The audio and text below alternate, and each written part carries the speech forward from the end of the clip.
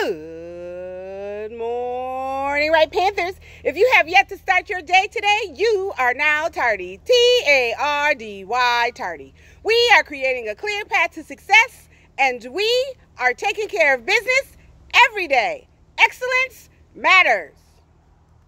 Yeah.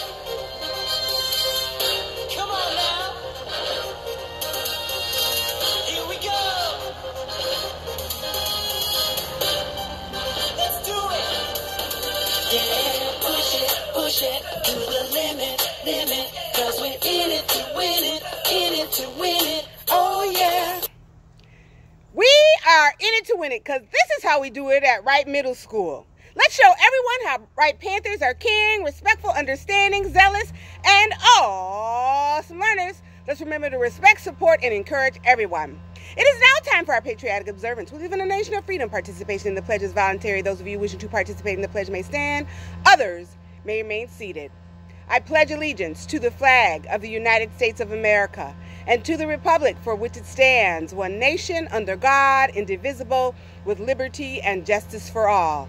Announcements for today. Today is a charge day.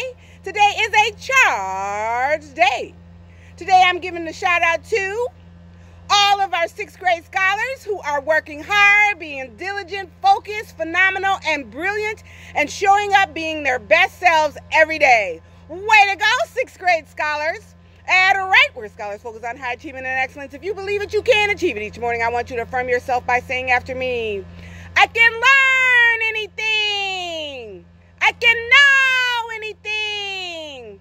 I can be anything. The mission of the James C. Wright community is committed to do whatever it takes every day to ensure that every scholar achieves at high levels, develops self efficacy, and becomes community, college, and career ready. Let's stay engaged, build meaningful and authentic relationships with one another, and learn all that we can. And have a motivating Monday. Wright, Panthers. Have a great day or not. The choice is yours. Just remind scholars to be organized, focused, and work hard. Be patient, respectful, supportive, and communicate. Be understanding and expect greatness. But most importantly, be your best self and have fun. Just a reminder, scholars, to be respectful, kind, and loving to yourselves as well as to each other. And have a great day. On this day in 1967, the first National Black Power Conference opened in Newark, New Jersey.